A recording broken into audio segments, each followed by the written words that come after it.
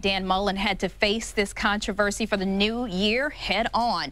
Coach Dan Mullen answered questions about incoming freshman Jeffery Simmons. That five-star recruit was recorder was recorded actually on video hitting a woman during a fight. But despite the video and assault charges, the school still enrolled Simmons this summer, and they say he will play this season. Dan Mullen says after an investigation, it was a university decision to let Simmons enroll.